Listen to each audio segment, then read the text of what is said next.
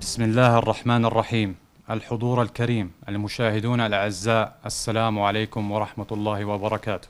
تحيي الجمعية العامة للأمم المتحدة في الثاني من نوفمبر تشرين الثاني كل عام.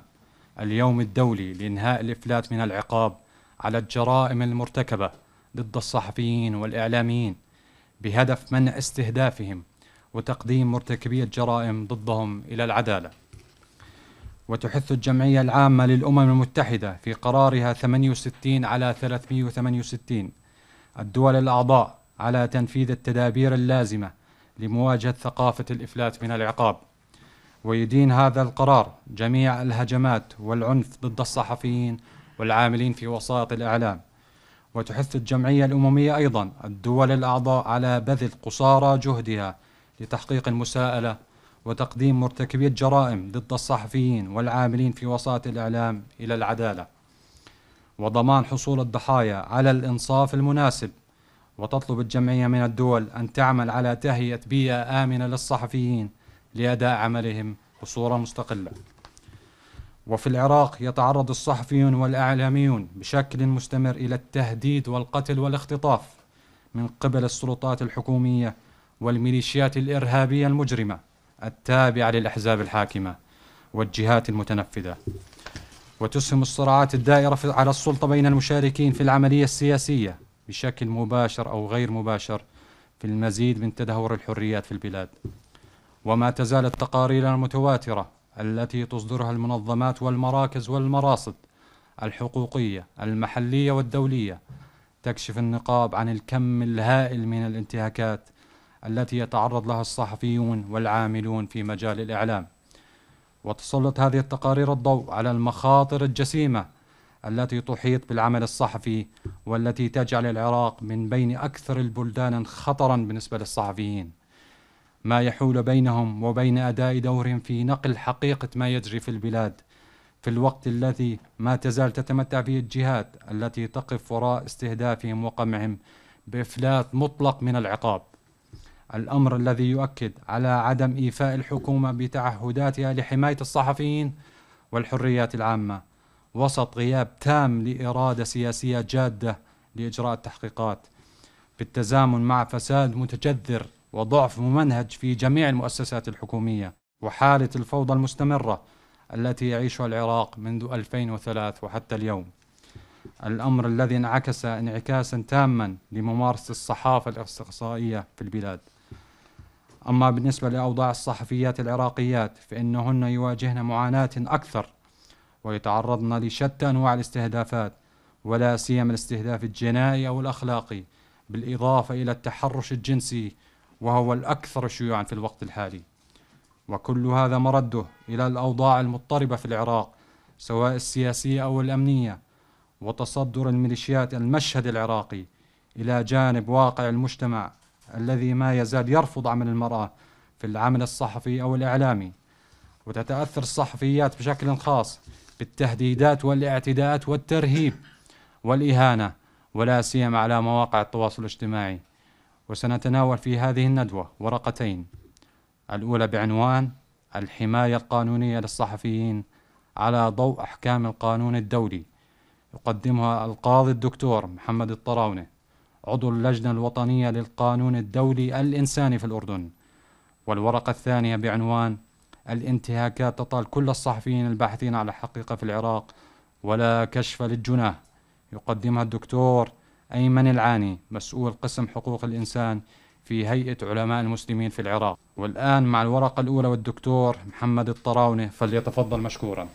أنا إخواني بجوز يعني آه، آه، برتاح هون كأني بحكي في بيتي بجوز الورقة بعثتها للدكتور أيمن مش راح أتقيد فيها آه، في موضوع الحماية القانونية للصحفيين واسمحوا لي إني هيك شوية أكون بعض الصراحة في هاي الموضوع ضمن ضوابط القانون الدولي وبعيد عن آه، السياسة.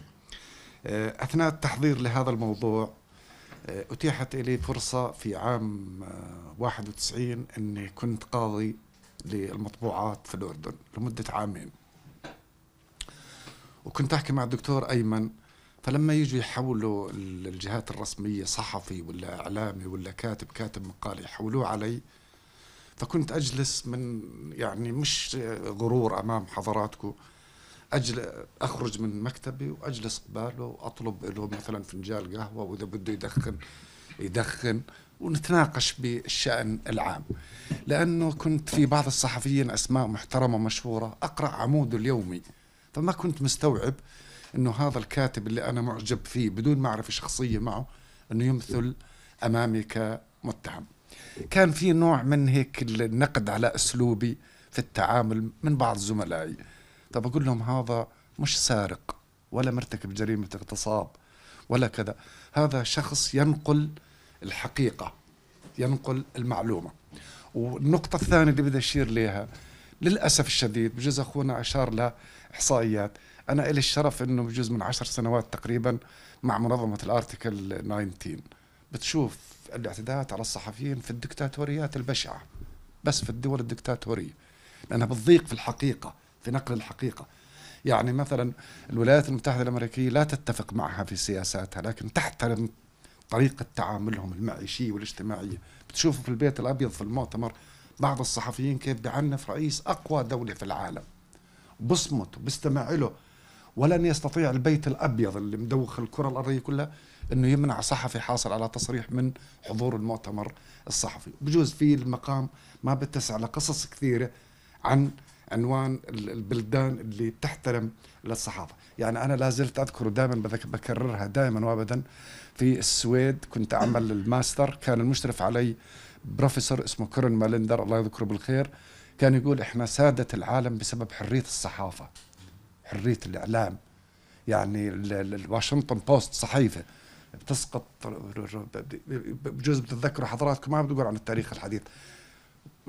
فضيحة نيكسون اللي كانت الصحافه كشفتها. الرئيس أقوى دولة عالم. لأن بؤمنوا في حرية الصحافة في حرية الرأي في التعبير. أنا أوردت هذا التمهيد حتى أربط أو أعمل مقارنة بوين كنا وين صرنا. في في العالم الثالث والعالم العربي جزء منه في ناس مو مستوعب إنه صار الصحافة والإعلام تطور هائل. ما بتستطيع إنك تكبح جماح هذا التطور. لسه في العقلية القديمة. انه الرقيب مقص الرقيب وزيح هاي المقالة واشطب هاي المقالة. يعني بجوز في بداية العمل كانت في عندنا مثلا والله في صحيفة السفير اللبنانية تكتب مقالة يقرأها تبع المطبوعات يمنعها. طب اليوم ما بتقدر تمنع صحيفة. وكنت آسف يعني بجوز ما بدي استبق الأمور أحكي مع الدكتور أيمن. في بعض الصحف في أمريكا بتقدر أنت كمواطن عادي تدخل على المادة اللي برميها رئيس التحرير. أجلكم الله على سلة مهملات رئيس التحرير. في أيقونة بتشوف شو المقالات اللي مش مسموح نشرها. ما بتقدر. والشغلة الأهم أيضا اليوم أنه صار إخواني كل مواطن صحفي. في هذا التليفون هذا يعتبر كأنه قناة فضائية سمارت فون وفي أجهزة متطورة أكثر. كثير من الأحداث وثقت عبر مواطنين ليس عبر الصحفي اللي رايحين نحكي عنه في أسلوبه. يعني مثلا في أحداث كثيرة هلأ ادله توثق في للأسف الأحداث اللي بتصير في سوريا مواطنين عاديين بجمعوا هاي آه، الأدلة. النقطة الأخرى اللي بدي أشير لها قبل ما أبدأ بالموضوع آه، يعني بكل صراحة أنا بقول في مناطقنا ومناطق الصراع اللي في الشرق الأوسط يعني في ازدواجية من الغرب في التعامل مع هاي القضايا. يعني بس بدي أورد بعض الأمثلة وحضراتكم أعلم مني فيها. لما قصفت ال ال ال القوات الأمريكية في بغداد مقر الجزيرة اللي كان فيها مندوبها المصور طارق أيوب تحججت أمريكا أنه أول شيء بالخطأ أو مش عارف وين وأطلقت من كذا. لو كانت هذه الجريمة على الأرض الأمريكية لا اهتزت الدنيا كلها. وأيضا في قصة في العراق بجوز يعني تأثرت مع أني ما بعرف شخصيا ولا هي حتى في النزاعات الداخلية كانوا الصحفية مستهدفين. يعني بجوز المثل الشهير صحفية أطوار بهجت بغض النظر كان نزاع داخلي أو كذا. وهو لم يرتكب جرم الصحفي مثل ما أشرت في البداية هو ناقل للحقيقة آه، فقط. آه، آخر مثل بجوز رايح أشير له بعد ما أستعرض الوضع في القانون الدولي. شيرين أبو عاقلة. نحن بصدد عمل مسابقة صورية ل 14 جامعة هون في الأردن. وضعنا السيناريو خاطبنا الجامعات رشحوا لنا الأشخاص. اعتبرنا هاي المحاكم السورية وأخذنا من مقتل أو اغتيال شيرين أبو عاقلة نموذج لي هاي طبعا من وجهة نظر القانون أنه هل هي جريمة حرب؟ كيف إذا أفلته من العقاب اللي ارتكبوا الجريمة؟ وفي للأسف يعني بجوز أنا عجبني المحور اللي أشار فيه أثناء المكالمة الهاتفية مع الدكتور أيمن عن الإفلات في العقاب. إخواني بتذكروا الكلام وما بحكي يعني أنه أنا عندي معلومات من واقع. لن يهنى مرتكب الجريمة ضد الصحفيين من الإفلات من العقاب. إذا فلت في بلده في ظل أنظمة قمعية وفي ظل تشريعات متخلفة في الخارج لن يفلت. لماذا؟ هذا اللي رايح أوضحه بوجهة نظر القانونية لأنه الصحفي إذا الاعتداء عليه في هذه الطريقة في قاعدة مهمة بجوز كل دول العالم توافقت عليها تعتبر بمثابة جريمة حرب لا تتقادم وفي أمثلة كثيرة رايح أشير لها آه، للأسف الشديد بجوز قبل ما أبدأ يعني اللي بحز في نفسي مثل ما أشار أخونا الكريم آه، أنه في فترة من الفترات كان العراق اللي إن شاء الله بنتمنى أنه يعود آه، لوضعه الطبيعي فاعل يعود قوي منيع مثل زمان العراق. مش مثل زمان في فترة لا العراق اللي بنعرفه أنه يعود. بحز في نفسي أنه يكون فترة من الفترات يقارن في كولومبيا وكوستاريكا في عدد الصحفيين اللي تمت عليهم الاعتداءات. بجوز يعني في آخر إحصائية من 2000 آه، لغاية الآن يعني بجوز إسرائيل الدولة في العالم هاي اللي بتدعي أنها أم الديمقراطية 155 صحفي فلسطيني اغتيلوا من قوات الاحتلال بسبب إنهم بنقلوا المعلومة. وبجوز آخر حوادث اللي شفتوها. عودة على الموضوع دكتور أيمن القانون الدولي منظم تنظيم دقيق جدا حماية الصحفيين. لكن للأسف بلداننا ما بتحترم هاي النصوص. بتشوف هالنصوص الجميلة وكل الدول العربية مصادقة عليها. اتفاقية جنيف إعلان اليونسكو المش عارف إيش التقارير الأرتيكل 19 عند التطبيق العملي للأسف مش مطبقة. بجوز يعني أول قاعدة وليش بنقول قاعدة عرفية؟ هاي القاعدة إخواني في حماية الصحفيين بدأت منذ عام 1863 وتطورت.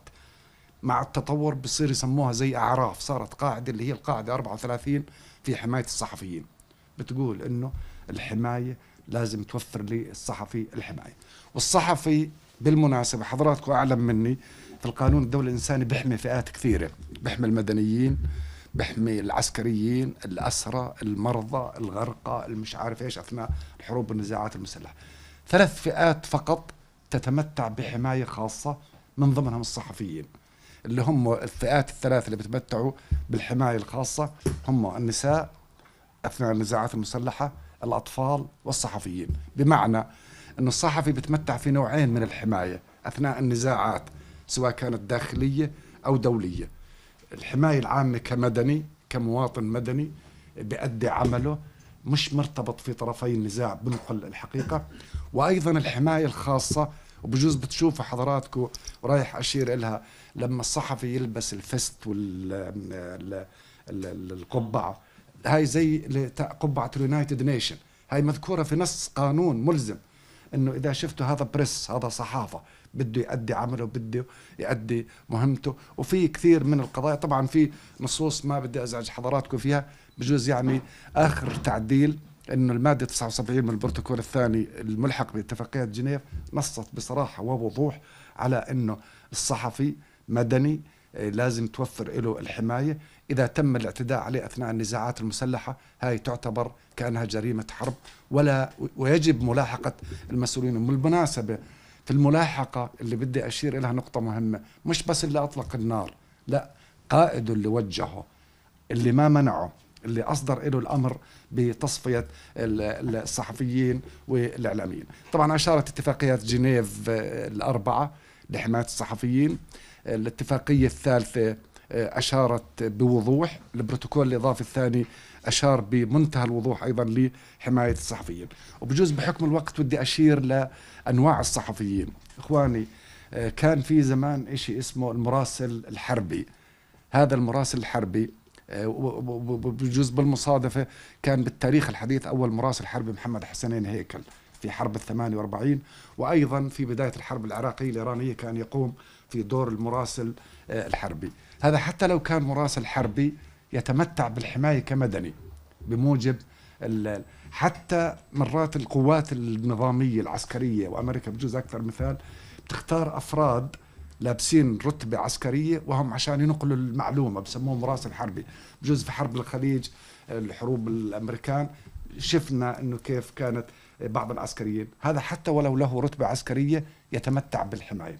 إمتى بتنقلب ويفقد الصحفي الحماية؟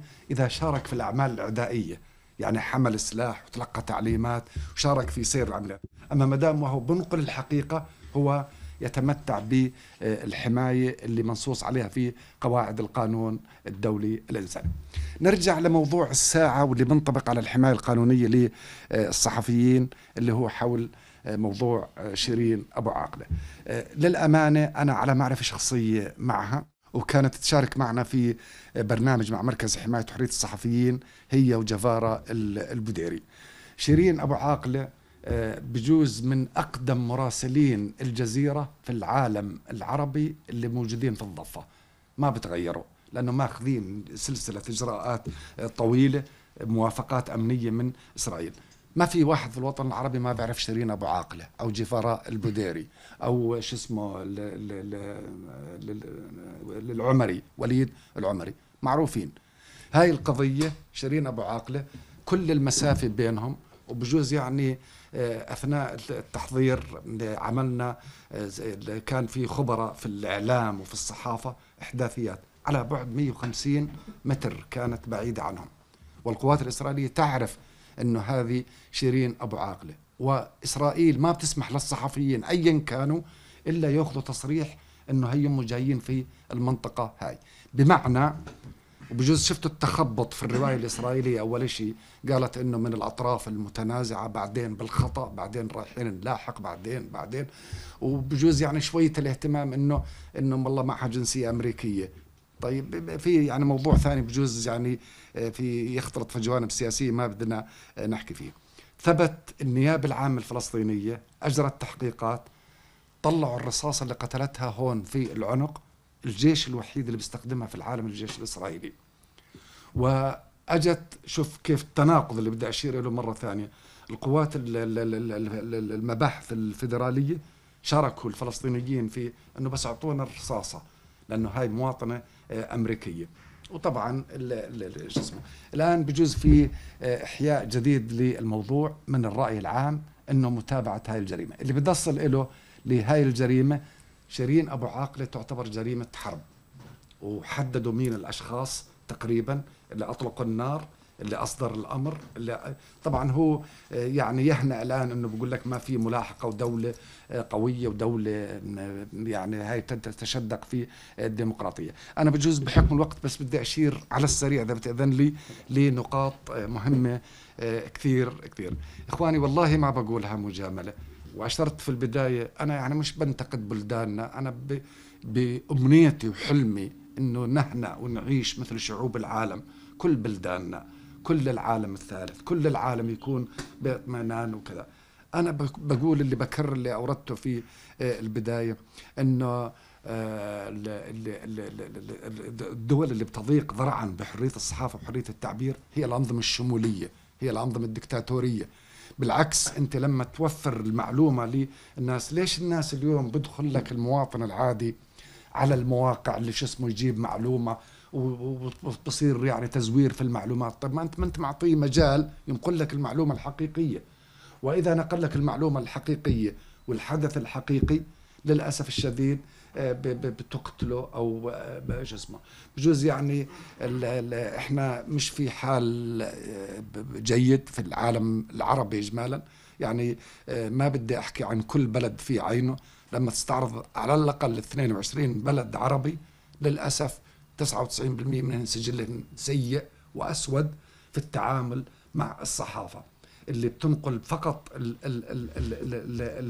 الحقيقة والمعلومه آه، بجوز بدي بس أشير ل نقطة وهاي مهمة وبجوز هاي تقاس على كل البلدان. في عام 2014 المدعية العامة الجنائية للمحكمة الجنائية الدولية باسنودا فتحت تحقيق في الأراضي العربية المحتلة. والآن في ملف جاهز يجهز في اغتيال الصحفية شيرين أبو عاقلة المحكمة الجنائية الدولية. ليش 2014 لأنه عام 2014 السلطة الوطنية الفلسطينية قبلت في اختصاص المحكمة الجنائية الدولية. الآن في ملف مكتمل الأركان يقدم للمحكمة الجنائية الدولية على أساس أنه الفعل اللي صدر ضد شيرين أبو عاقلة هو آه، آه، جريمة من جرائم الحرب بموجب المادة 8 من النظام الأساسي للمحكمة الجنائية الدولية اللي أيضا بتشير الأطقم الصحفية أنه لازم توفر لهم آه، الحماية القانونية بموجب قواعد القانون الدولي الإنساني. بقيت بس نقطة أشير لها وبدي أكررها بجزء أشرت لها في البداية. بالمناسبة كل الدول العربية موقعة على كل اتفاقيات جنيف. لكنها للأسف الشديد من أكثر البلدان انتهاكا لهذه الاتفاقيات وخاصة فيما يتعلق بالصحفيين يعني بس صحفي واحد كيف العالم الحر انتصر له إذا بجوز حضراتكم كنتم متابعين اللي كشف مافيا المخدرات والمخدرات أخطر من الحروب على الشعوب في كولومبيا. شخص واحد كشف قضية فساد كبرى في إنه كيف مين اللي برعى قضايا الإتجار بالمخدرات وهي أكبر بلد في العالم. حماة العالم الحر العالم المتطور العالم المتقدم. وبجوز حضراتكم في حرب الخليج الأولى إذا بتتذكروا كبيرة مندوبي البيت الأبيض كيف عنفت قدام العالم كله بش إنه أنت قديش قتلت في العراق وقديش أطفال وقديش مقدرات وقديش كذا. وصاروا يسقفوا ليها الأجانب اللي موجودين الصحفيين. مش يعني آه، للأسف. في جعبتي الشيء الكثير فإن شاء الله المرات القادمة إنه آه، بنغطيها. وإذا يعني إخواني الكرام أنا بعثت الورقة المتواضعة آه، مكتوبة. أشكركم على حسن الاستماع وبعتذر إني ما قدمت المعلومة الكافية بحكم الوقت. لكن معنا مساحة للنقاش إنه نعوض ما فاتنا في هاي المقدمة. شكرا سيدي وشكرا لحضراتكم. يعني شكرا للدكتور محمد الطراونة على المعلومات المهمة التي قدمها من خلال ورقتي. الكلمة الآن للدكتور أيمن العاني لتقديم ورقته فليتفضل مشكورا. السادة الحضور المشاهدون الأعزاء السلام عليكم ورحمة الله وبركاته. اليوم طبعا حتى نسترسل الحديث سأبدأ من حيث انتهى الضيف الكريم. آه، لدينا ورقة عنوان الورقة الانتهاكات تطال كل الصحفيين الباحثين عن الحقيقة في العراق. بداية نتحدث عن دولة تدعي الديمقراطية لكنها أبعد ما يكون عن ذلك. يتمايز الصحفيون في العراق بعد الاحتلال إلى ثلاثة أو ثلاث مجاميع. المجموعة الأولى هم الصحفيون المستقلون. وسنعرف هذه هذا المصطلح. المجموعة الثانية هم المحايدون. والمجموعة الثالثة مع الأسف الشديد هم ما يوصفون بأبواق السلطة. فهنا نتحدث عن المشكلة والانتهاكات تطال هذه الفئة الأولى. المستقلون الصحفيون تطال الصحفيين المستقلين. من هم الصحفيون المستقلون؟ هم الذين ينقلون الحقيقة كما هي. لا يضيفون عليها آراء آراءهم ولا يخلون بتفاصيلها. هذا هو هذا الصحفي المستقل. لا هو يزيد على شيء ولا ينقص ولا ينمق ولا يقبح ولا هذه الحقيقة. فمن يضيق بالحقيقة ذرعا؟ هو الذي لا يعترف لا يحترم نفسه أولا ولا يعترف بكل المواثيق والمعاهدات الدولية التي قطعها على نفسه يبدو كأنما هو موضوع يعني كرائج هكذا. واقع الصحافة في العراق ما بعد الاحتلال لا يختلف عن واقع السياسي في العراق ولا يختلف عن الواقع الاقتصادي في العراق ولا يختلف عن واقع كل المحاور الأخرى. بل زيادة على ذلك نرى أنه الصحافة وهي توصف بالسلطة الرابعة مضطربة متأزمة. لماذا؟ لأنها يعني عليها آه، آه، ظلم مركب. قانونيا ظلم مركب ظلم وملاحقات آه، جنائية أيضا ظلم آخر. وهذا التقييد في حرية الصحافة يتأتى من موضوع كما تحدثت أنا هو كراهية الحق لأنه هذا الأمر سيكشف كل الحقائق ستظهر الوجوه على حقيقتها. وبالنتيجة هذا الأمر طبعا بعيد كل البعد عن آه، موضوع الذي يريدونه من يحكمون بغداد اليوم. الكثير من الصحفيين لا يزالون يتلقون التهديدات وابتزاز عمليات ابتزاز ومضايقات شتى بأنواعها المختلفة الحقيقة. وهذا كله من قبل الأحزاب الحاكمة والميليشيات المتحالفة معها تجاوز صارخ لكل ال ال ال ال لحرية التعبير وللتعدديه والاستقلالية وهذا كله مكفول. يفترض أنه مكفول في في في الدستور. فهذه أيضا مشكلة أخرى وهذا يفسر لنا تذيل العراق لقائمة الدول في ملفات حقوق الإنسان وحرية التعبير. قسم حقوق الإنسان في هيئة علماء المسلمين في العراق وثق المضايقات والانتهاكات التي تعرض لها الصحفيون المستقلون خلال الأشهر العشر الماضية من العام الجاري. أكثر من 230 حالة اعتداء طالت الصحفيين في معظم المدن العراقية وتصاعدت حالات استهداف الصحفيين في المناطق التي تشهد احتجاجات شعبية معارضة للحكومة. طبعا الحكومة في بغداد وحكومة كردستان. وسط موقف مريب من قبل نقابة الصحفيين العراقيين.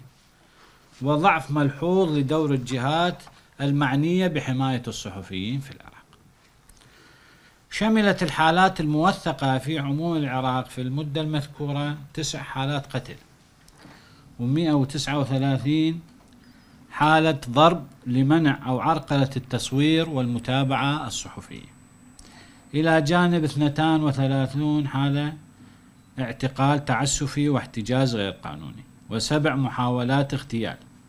وست عشرة حالة اختطاف. وإحدى عشرة حالة اقتحام مقرات قنوات فضائية وتحطيم محتوياتها وإيقاف بثها. وإغلاق لمكاتب محطات إعلامية وتسريح عاملين. ثلاث عشرة إصابة في صفوف الصحفيين والعاملين في مجال الإعلام أثناء أداء مهامهم الصحفية. هذا نتحدث 2022 يعني اليوم كل في يعني في ناس في جهات آه، تقول لك خلينا نشوف آه، يتغير الوضع قد الأمور يعني تجي بشكل مو إحنا غير نقرأ الأمور على حقيقتها يفترض. نعم الحقيقة مرة لا شك. لكن يفترض أنه الإنسان يقولها ويواجهها ويفهمها ويستوعبها أيضا. طبعا العاصمة بغداد أعلى شهدت أعلى عدد من الانتهاكات الموثقة.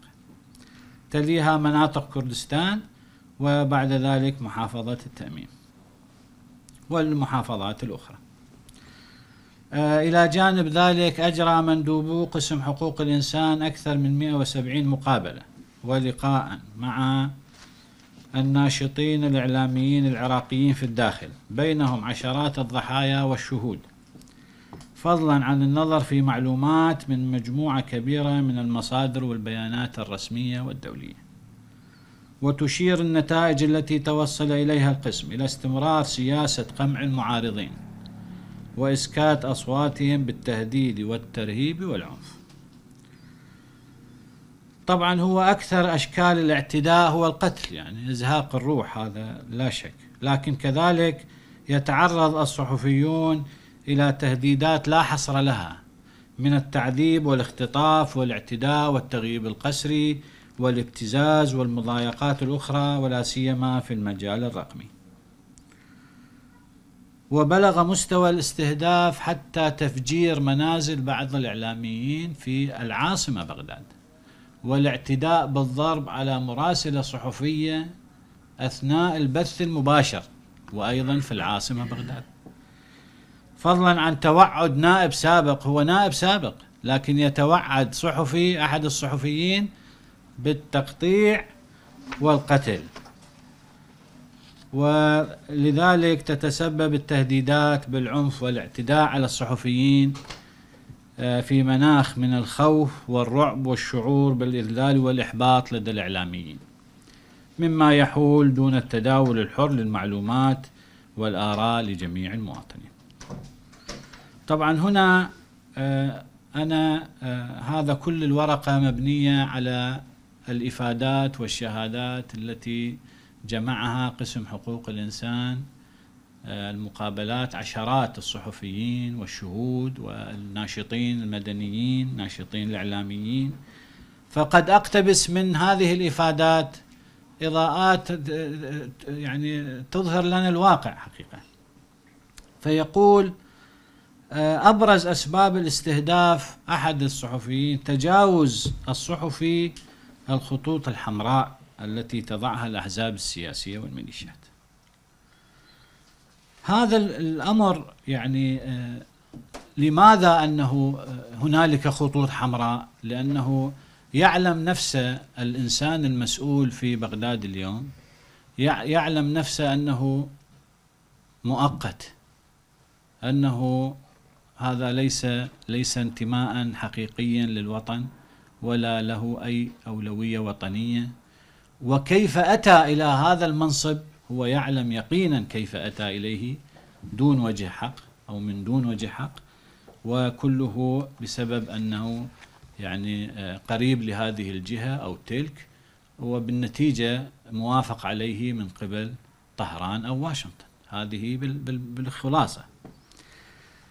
في ظل هؤلاء يحتل العراق المرتبة 163 عالميا وفقا لأحدث مؤشر لحرية الصحافة الذي تصدره سنويا منظمة مراسلون بلا حدود والمركز السابع عشر عربيا بعد الصومال وسوريا والسودان. أصبح العراق في هذه المراكز. وما يزال العراق ومنذ 2007 متصدرا القائمة السوداء لمؤشر الإفلات من العقاب العالمي. وقد تراجع تراجعا جديدا العام الماضي ليكون ثالث أسوأ بلد في العالم في مؤشر إفلات قتلة الصحفيين من العقاب المشكلة الكبيرة أنه يتم الاستهداف لشخصيات مؤثرة في المجتمع. وهذا طبعا يخطط له وتوظف له وتسخر له إمكانات كبيرة. هذا مو شغل يعني آه، فردي. هذا شغل حكومة شغل ناس تخطط ناس تريد تنفذ مخططات.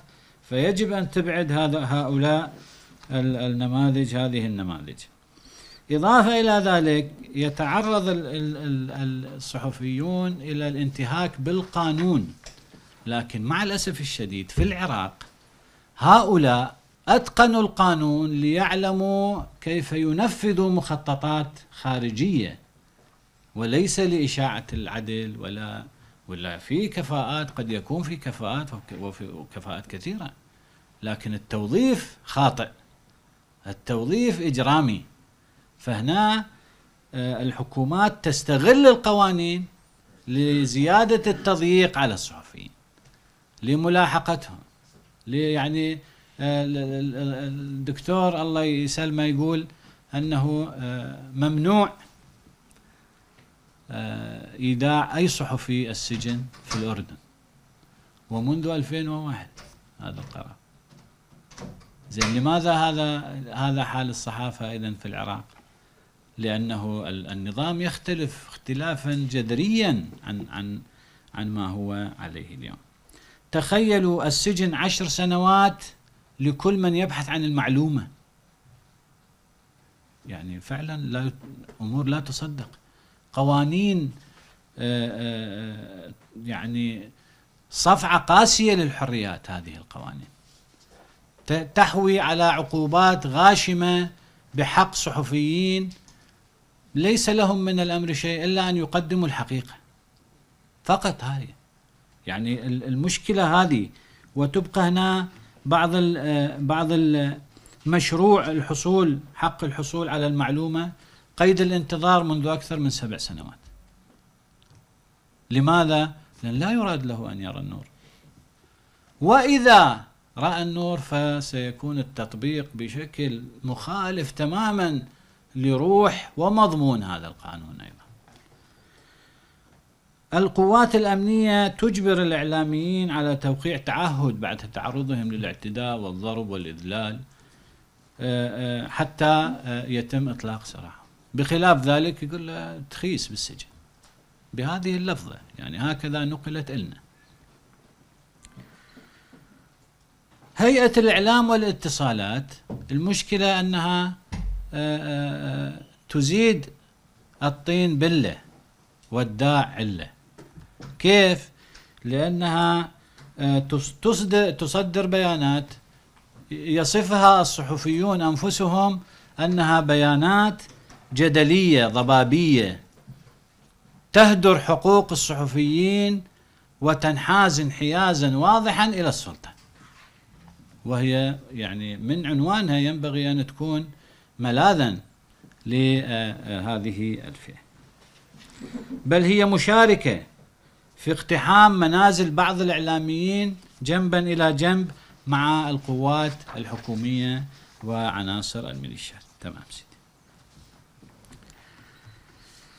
الحقيقة يعني المواضيع كثيرة جدا ولاختصارا للوقت. نتحدث هنا عن فقرة مهمة جدا هوية مرتكبي الانتهاكات بحق الصحفيين. يعني هنالك آه، قاعدة في القانون ابحث عن المستفيد. في أي جريمة ابحث عن المستفيد. المرتكبون للجرائم ضد الصحفيين هم المستفيدون من عدم نقل حقيقة ما يجري في العراق. حقيقة الواقع المزري الذي يعيشه العراقيون. تغييب هذه الحقيقة من المستفيد منها؟ الشعب مستفيد منها؟ المستفيد منها من يمتص دم الشعب من يستغل ثروات البلاد من يصادر إرادة الشعب. هؤلاء المستفيدون من هذا الموضوع. يعني والقوات الأمنية التي لا تحمي الصحفيين لأنه الاعتداءات على أعين هذه القوات. كثير من الشهادات والإفادات توثق ذلك. فهي مشاركة شريكة بهذه الجرائم. فهنا أما الادعاء آه، الحكومات المتعاقبة من 2007 إلى اليوم تدعي أنه إحنا آه، الجهات التي الجهات التي تستهدف الصحفيين والله غير معروفة غير معلومة لا نستطيع الوصول إليها. يعني هي ادعاء صدقا أنقل عن آه، آه، مدير إقليمي لمنظمة حقوقية دولية معتبرة يقول هذا الادعاء مثير للسخرية. يعني آه، طبعا وهذا تشاركه في هذا الشعور جميع المنظمات والمؤسسات الدولية الراعية لحقوق الإنسان. معرفة هوية المرتكبين يفسر لنا الإفلات المطلق للعقاب بالنسبة للمرتكبين أو للجناد. لأنه هو الحاكم وهو القاضي وهو الجلاد وهو المنفذ وهو هو نفس نفس الطرف يعني. فلا شك أنه تكون. يعني المستغرب لو كان المرتكبون آه، تحت طائلة المساءلة. لأنه هنا تكون جهة أخرى. تخيلوا في العراق بلغ أعداد بلغت أعداد القتلى من الصحفيين خلال العقدين الماضيين أكثر من 500 صحفي. أكثر من 30% من أعداد القتلى الصحفيين في العالم خلال العقدين الماضيين في العراق.